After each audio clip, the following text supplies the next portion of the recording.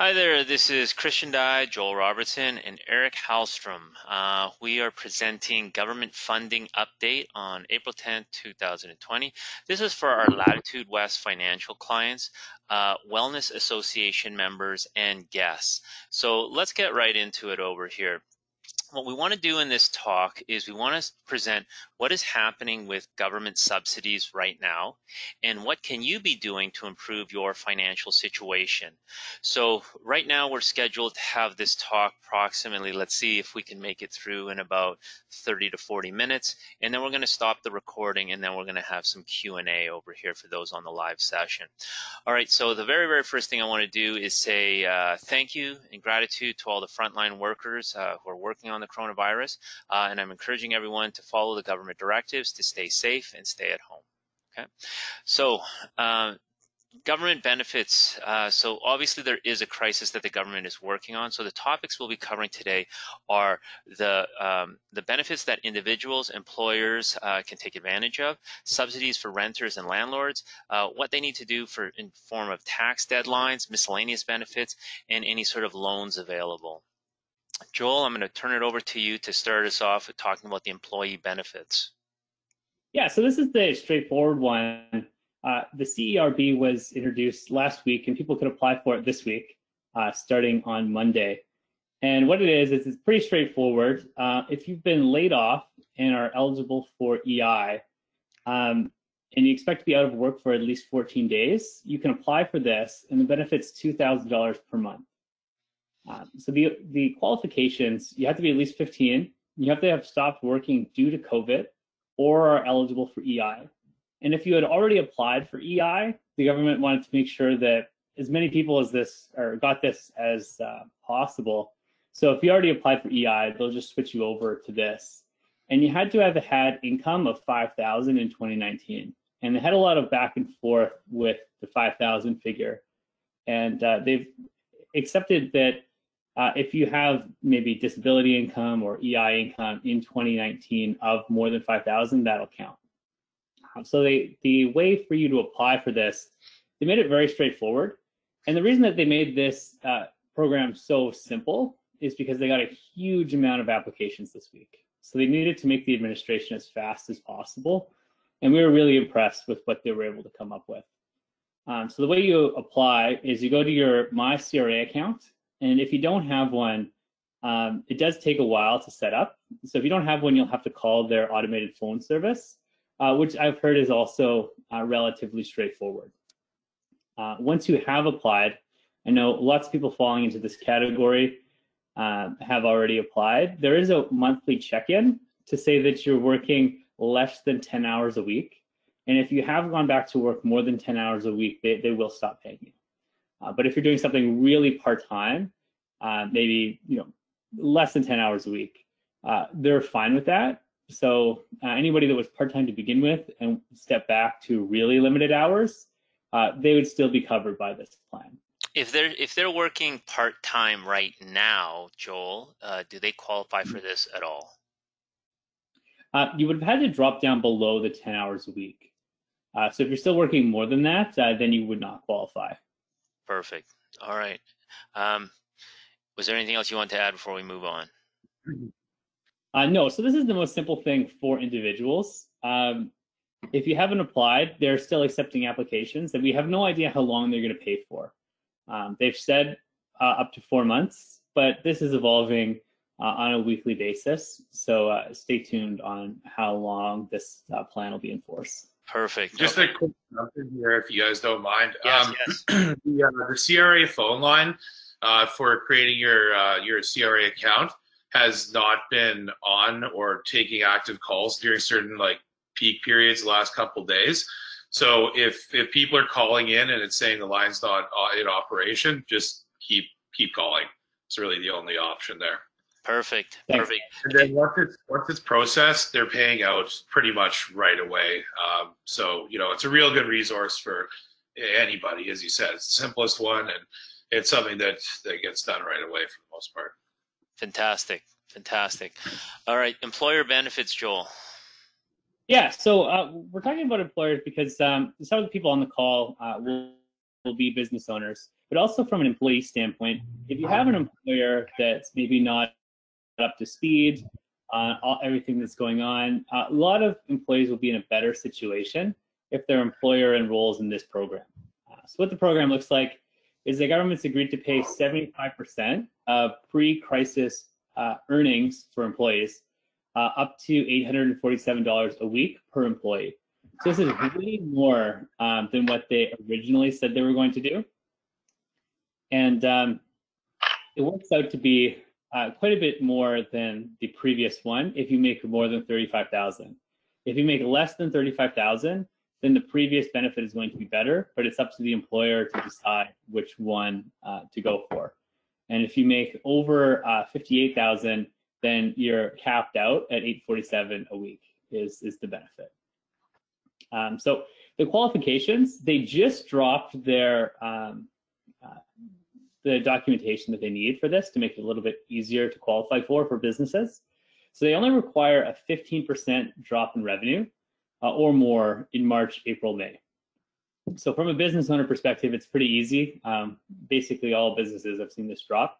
So qualifying for it is not a huge issue. Um, but uh, the government does want employers to pay the uh, remaining 25% of employee salary up to uh, the yearly pensionable earnings, which is 58,000. Uh, employers don't have to do this though. That's a misconception about this plan. You just have to sign saying that you will do the best you can to pay that amount, uh, but the government will pay the 75%, and uh, and that could be all you pay your employees.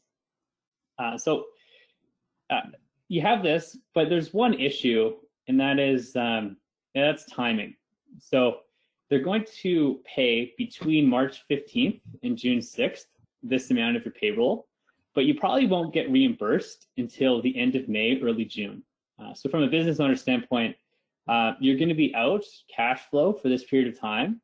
And if you don't have the reserves, you'll have to look at different loan options, which the government has also proposed, especially for larger businesses that are in this situation when maybe they don't have you know two or three months worth of uh, payroll kind of put aside. Sure. Uh, can I move on, Joel? Uh, yes. We'll, we'll take questions at the end. Yeah, yeah. Okay. Uh, business loans available. Uh, so there's a couple business loans, and uh, these have been evolving quite a bit as well. Uh, the first one is a straightforward one. So 40,000 uh, Canada Emergency Business Account Loan. So this is something that the government's saying that they will um, fund businesses through banks. So the way you apply is you go to your corporate banker and you say you want to apply for this business loan and it'll be facilitated through the government, but the bank will actually give you the loan for the 40,000. And what we're reading is that uh, part of that will likely be forgiven. So from a business owner standpoint, it uh, really makes sense to take uh, advantage of this loan. So it's it's interest free until 2022, and then if you pay that in full, likely a quarter of it will be forgiven. Uh, so this is a good situation for anybody uh, that qualifies. So the qualification is you have to have at least 50,000 in T4 salary that you paid out in 2019. So don't don't confuse T4A. Uh, lots of people have contract workers uh, contract salary does not count. So you have to have 50,000 in regular salary in 2019 to qualify for this benefit. Uh, the next, the next loan is uh, uh, from the Business Development Bank of Canada. Um, so they, they do a lot of work with small businesses, and they actually increased their uh, their maximum loan amount to six and a quarter million. So they're really trying to push a lot of money out um, to make sure small businesses, uh, for the most part, uh, don't go bankrupt and can stomach this.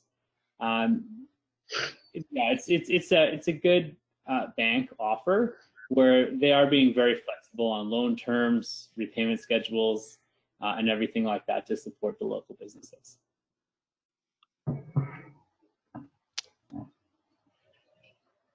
Joel, shall we move on? Yeah. All right, subsidy for renters and landlords. Uh, so this is specific to BC, but we've seen it across Canada. Um, where we're focusing on the BC one because uh, our practice is uh, located in Vancouver.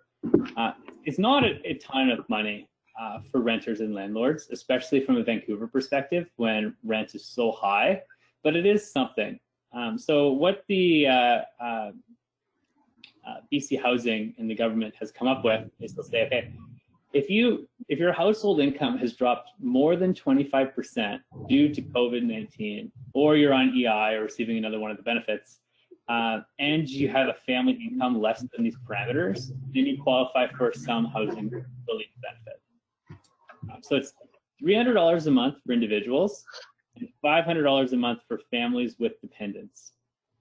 Uh, so, uh, of course, from a rent perspective, it's it's not covering a lot, but it is it is helpful, and uh, they will pay um, for for an extended period of time. Uh, so they haven't exactly come up with a hard number on what that looks like, uh, but it's something that a lot of people fall into, and definitely worth applying for. Um, so you have to have a, a family income less than seventy-four thousand for individuals or couples, or families less than one hundred and thirteen thousand. And if you fall into that category, um, then you can apply. And the application is pretty straightforward. You go to bchousing.org, uh, and then you go to the uh, part of the application, it's COVID-19 BC uh, TRS. Uh, and the uh, one possible hiccup is the landlord does need to approve uh, the validity of your application. So if you are applying, make sure that you send a message to your landlord because they will get an email and they'll just have to approve everything that you wrote down on your application. Hmm. Okay. Uh, shall I move on? Yeah. Um, sorry, I have one question about that. Yeah. Uh, about the drop in um, household income, 25%. How are um, how are how are we? What's the burden of proof for the renter? Uh, in terms of, I mean, how do they prove? So for somebody that's seen a drop of household income 25% in the last month, or you know whatever, how is it just with a, a T4? And this isn't really for me, it's I'm asking for someone else, but how can they how are they supposed to prove that to uh, to the government, like with a pay stub from the last couple weeks, or do you guys know how that? I haven't read the application, uh, but that's a good point. We all have family and friends in this situation, so mm-hmm. um, I recommend if you do fall into this category and you're currently spending more than 30% of your household income on rent, uh, okay. Go through their application on BC Housing. Okay. Um, the application they say is straightforward, and um, BC Housing in general is like they're, they're decent to call. I don't know. Okay. They're, they're probably uh, overwhelmed, like every. Uh, yeah. Uh, they're they're trying to make these programs as easy to apply for as possible. So they probably mm-hmm. reduced a lot of those parameters, and making it only 25% drop in income uh, makes mm-hmm. it even. Uh, yeah. A, a standpoint. Awesome. Thank you. But I, I think with these programs as well, there'll be a lot of, you know, check the boxes stuff up front. And then if, uh, you know, post COVID, they find that they want to audit some people, they'll probably be taking a closer look at things. Um, the, these applications would, would take forever if, if they were going to literally get everybody to bring in, you know, a balance sheet or, you know, a statement of personal exactly. income. Like so mm-hmm probably what they'll see. And that's that's a hunch, so take it with a grain of salt. But that would be what I think is going to happen. And it was like that for uh, for the business loan. You know, check the boxes, then be prepared to show documents later down the road. Mm-hmm. Okay. Okay. Good question. Thanks. Tax deadlines, uh, Joel.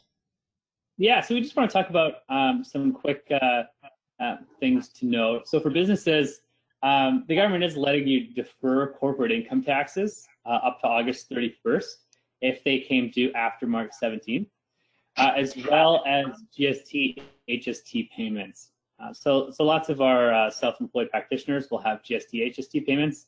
Um, these are due likely before uh, regular income taxes for individuals. So uh, the income taxes, you have to have your tax filings in by June 1st, but the payment's probably not until August 31st, and they might push that even further. Uh, so just to note, there is different uh, deferral deadlines for uh, GST and um, income tax filings. Okay. Uh, some miscellaneous benefits. Yeah, so there's there's a lot on here. Um, I only have a few of the uh, the main ones that have came across my desk so far. Uh, one is that for um, certain commercial real estate, they've cut school tax in half, uh, which apparently has caused a benefit of 500 million. So this will make uh, rent of commercial properties a little bit cheaper for uh, people in that situation. Uh, everybody that's receiving child care benefit, you don't have to apply for this, but they're giving an extra $300 per child in May, just as a one-time payment, uh, because so many people have to support children when they weren't expecting to, and that's incurred a cost. So they have addressed that. Uh, and then there's lots of uh, deferral programs that different companies are doing. Uh, BC Hydro, ICBC both have uh, deferral programs. ICBC is 90 days. BC Hydro, um, you can essentially negotiate with, especially if you're a business and you have large BC Hydro expenses. Um, they're they're being they're being great about that and very flexible. Um, deferring mortgages, uh, if you're not affected by uh, COVID in an income standpoint, it might not be the right move to defer your mortgage because they are going to make you repay those months in the end.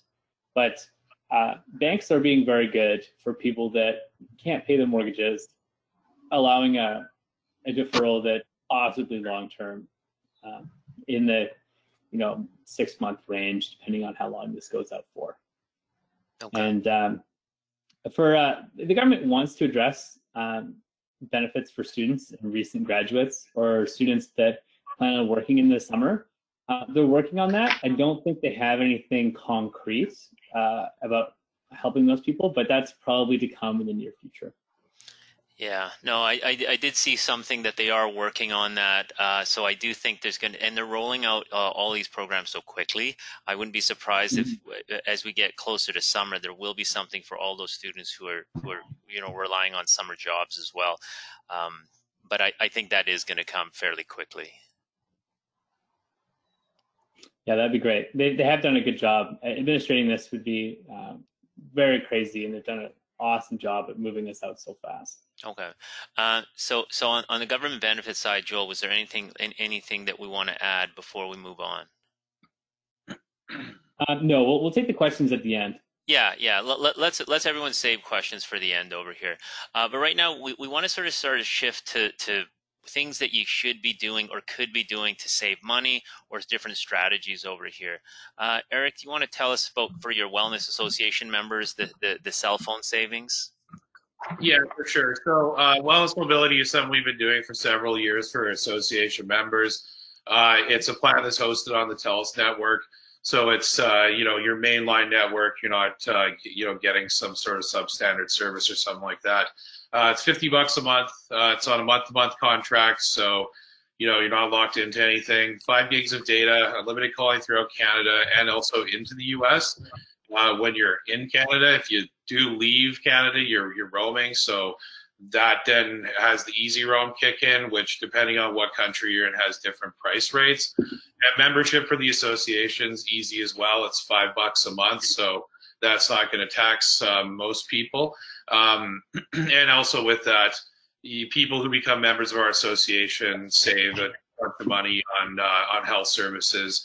Currently, mostly done online that are from the health and wellness community. So things like naturopath, fitness, yoga, counseling, traditional Chinese medicine. Um, you know, it, it's all in there. Uh, if anybody's interested in participating, um, they can call Tara. The number is listed on the slide here, and then of course, and we can also get everybody the uh, the phone number and the email if they want to get involved. And something else that you don't see on the slide, but I just want to mention is that we do have a free and a low cost, or free or low cost clinic going on right now. All services are done online, but for anybody that needs support, especially for like mental health services, we've got a ton of practitioners who decide to step up to the plate and start offering services for either free or ten dollars or twenty bucks. Uh, basically, the uh, nearly 100 services that are all under $100 on uh, on our website, and you can get there by going to uh, wellnessassociation.org or witchdoctor.com. Sure. And once again, go over those sites again at the end of the presentation. Yeah, yeah. Please mention them again. Uh, just a really quick question over here. To be part of the Wellness Association, are, do you have to be a healthcare practitioner? No. Uh, so obvi- we have profiles for healthcare practitioners. Um, So they can go ahead and sign up online anytime. And then we have another personal member category, which is wide open to anybody who uh, wants to get involved. Perfect, perfect. So at the end, we'll, we'll definitely talk about how we can get involved again. Is that okay, Eric? Yeah, for sure. Perfect. Um, and, and, and, I guess uh, uh, I want to transition into what people could be doing during the crisis. So I guess, you know, what are people doing right now? If you're not working right now, you might be doing more Netflix, more online shopping, and that's sort of the things I'm saying. Well, why don't we start to minimize that and start to be a little bit more proactive because we don't know how long this thing is going to mm-hmm. last. So with Latitude West Financial, what we're encouraging clients to do or new clients to do are to start looking at if, if you could take advantage of investing, start looking to make sure your insurance is fully covered, start looking to make sure you are financially organized. So here's some of the logic behind some of these things over here. I want you to think of financial planning in terms of a football game, a foot, a, a winning team well, you've got teams that are strong with offense and teams that are strong with defense. So, what does offense and defense look like? Well, if you think, well, uh, you may have heard that the stock market has now crashed. So, should I be investing? Is this even a good idea? Well, the first thing I would ask yourself is this. The, the quick answer is maybe. How stable is your cash flow? Is cash flow is very, very dicey. It might not be the best time for you personally, even if others are doing it. What are your other current investments doing right now? Are they down? Are they in more of a cash or fixed position? If they are, it's a great way to start shifting it into the equity market over here. Um, if you do have stable income and it doesn't look like that, uh, if you do have stable income or you know that your expenses are low enough, uh, you might want to think of leveraging into this market over here. That's a completely separate topic that uh, people can call me about, but there's there's some huge advantages of deducting the interest as well as essentially hitting the gas pedal uh, in this down market. So when you think of historically investing in crash markets, I put Warren Buffett over here, and you know he, uh, uh, the famous quote is people don't get rich in up markets. Of course they get they make their wealth in down markets. Um, and his famous quote be fearful when others are greedy and be greedy when others are fearful. And what essentially he's saying is that we shouldn't be chasing the markets when they're up. What we should be doing is we should be chasing the markets when they're down. Now i add on to his statement be greedy when others are fearful, but if you are greedy, do it in a very safe manner. So that would be my advice uh, to to not go crazy. Start investing into into some stocks that have been beaten up, especially if you're not a professional. It can be very very dangerous. But I'm also saying if you're in the cash flow position to invest in the markets, there is no better time in this last decade in order to do so. So just to give you some numbers over here, the last great crash was in 2008, 2009. It took nine months to go from peak to the trough, and there was a 47% drop.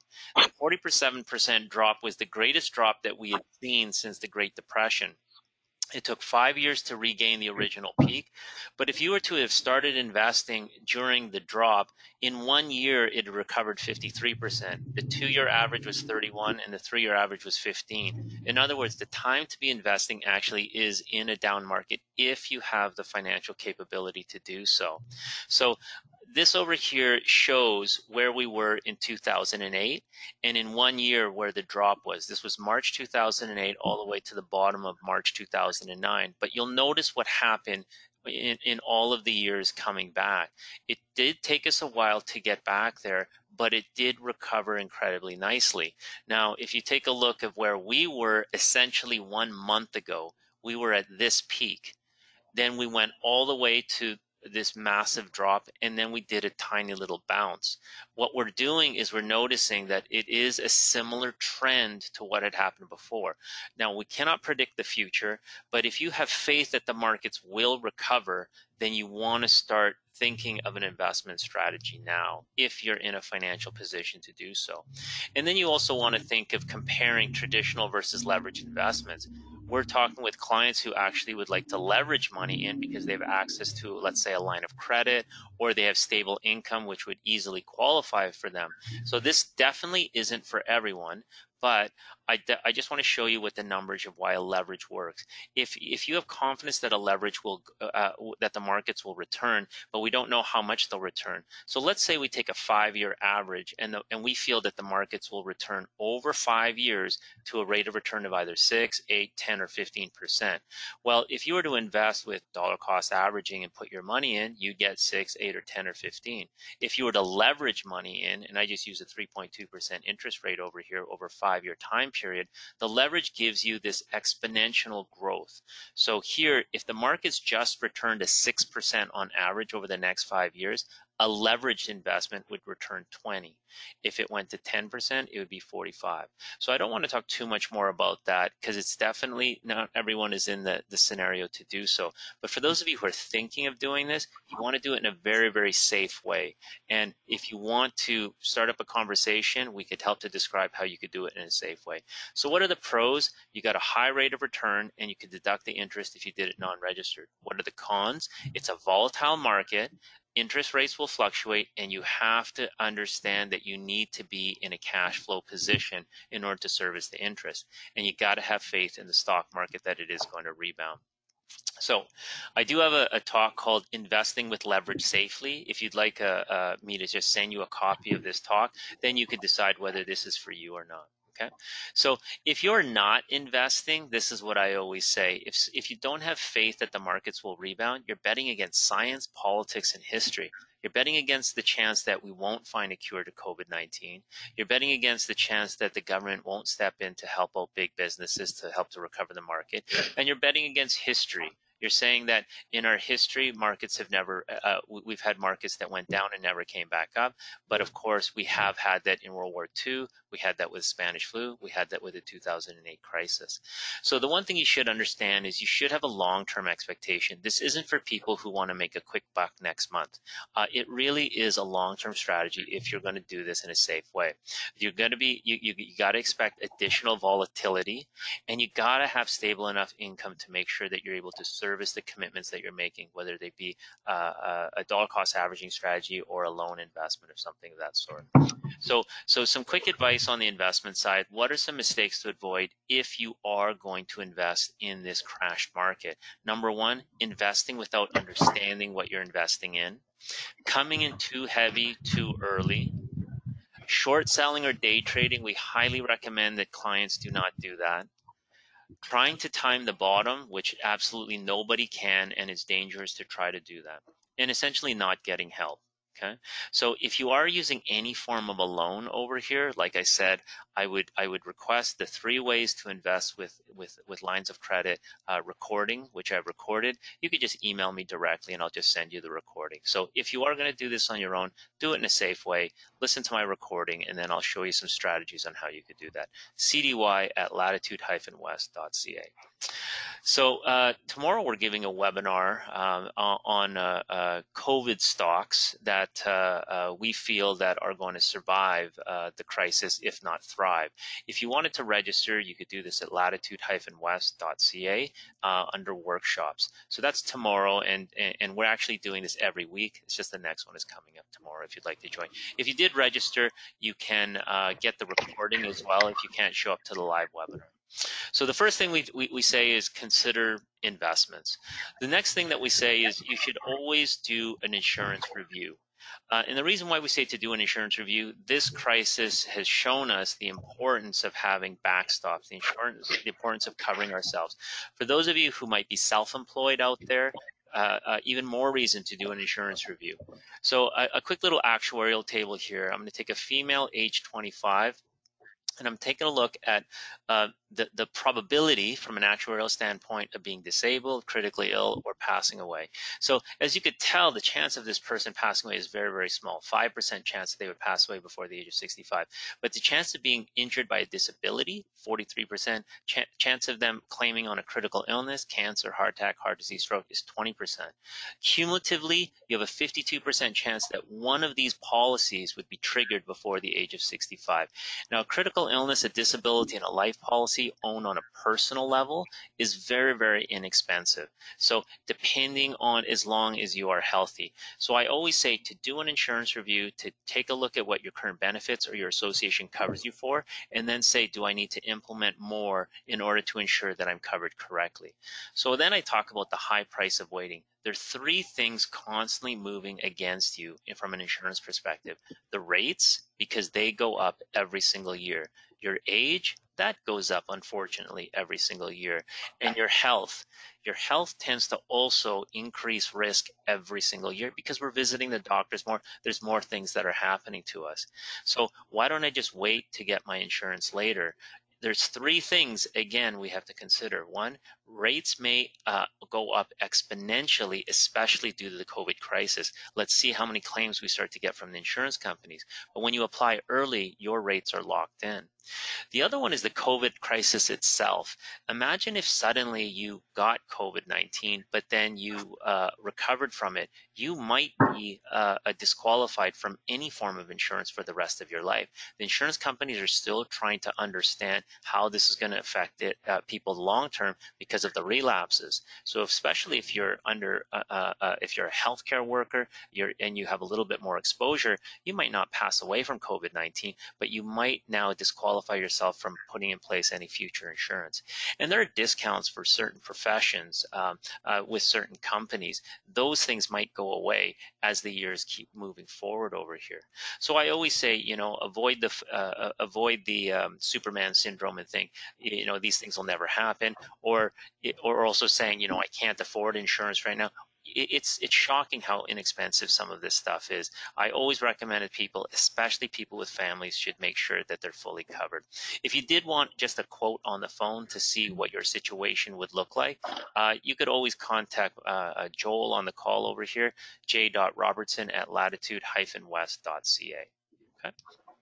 So here, uh, uh, our, our, team here at Latitude West, we're here to serve you. We're here to help you. We want to give you as much free advice as we possibly can. We invite you to give us a call you want some planning. And of course, if you want to actually do some financial planning with us, uh, what we do is we always take a discovery meeting. Now, this would be online. This does not cost anything to do a discovery meeting. It's just us fielding your questions and us getting to know you and you getting to know us. If we did end up working together, our process would start with the discovery meeting then we would do a planning strategy called a navigation plan. Whatever comes out of that planning, we would do an implementation, and then we would follow through periodically throughout the year to ensure that you didn't have any more questions or that the plan was being uh, uh, proceeded with. So we always start with cash flow. That's what's most important to us. We want to make sure you're in a good cash flow position or how to get you in a better cash flow position. And then we start moving up the pyramid. We want to make sure you're insured correctly to protect you. And that's the defense. Then we want to make sure you're invested correctly. That's the offense. And then we want to see if there's any tax efficiency as well. So, so right now, uh, before we move into the uh, questions and answers period, we just, you know, we're, we're doing pretty good for time over here. How can we all help you? You know, well, uh, from the Latitude West perspective, we can listen to your financial issues. We could help to implement a strategy, help to review your insurance, or take a look at investment options in this down market. And at the very least, I could continue to help you at our workshops. So if you want to ever just see what workshops we're giving on our website, you could visit us at latitude-west.ca. Look at our calendar, look at the workshops that are coming up, and then you know, by all means, join the ones that that of the open workshops that you're able to. So our main goal is to educate you, you know, and we want to help as many people in this crisis as possible, whether you're a client or whether you're not a client. And and and so, um, uh, uh, Eric, did you want to? I'm, I apologize, Eric, for not putting your website over here. Do you want to quickly just talk about uh, your group again and the and the site? Yeah, for sure. so, uh, whichdoctor.com, and that's W H I C H, or wellnessassociation.org, will take you through to um, like a, uh, an extensive community of healers uh, who are from the health, wellness, or alt health, or health services that are non pharmaceutical, whatever. Uh, basically, there's about 1,200 of these practitioners on our site. And uh, right now, the vast majority of them are offering online services only, of course, but typically you can either book uh, in clinic, at home, or online. Uh, basically, anybody can go to the site and they can use it just like they would, say, like an Airbnb style site. Um, but people who become members of the association, they can save 20% um, off of all the services that are there. So people that are spending, you know, three thousand, four thousand dollars a year, um, as what we see is our average for um, for people that are investing in these services you're going to save a lot of money by by becoming a member of the group. Um, you know, basically, you'll find everything you can possibly imagine on there for anyone who's interested in health and wellness or non-pharmaceutical uh, healing remedies. Uh, this is definitely the place to go and, and, and, check out and see what our practitioners have to offer. Uh, and then once again, any member of the association qualifies for the cell phone plan.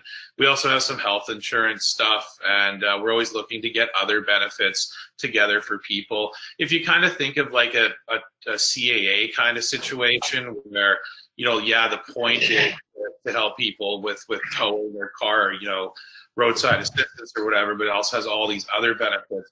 We've kind of structured it like that, where yeah, the point, of course, is health and wellness, but hey, if we can help people save money, then then of course we do.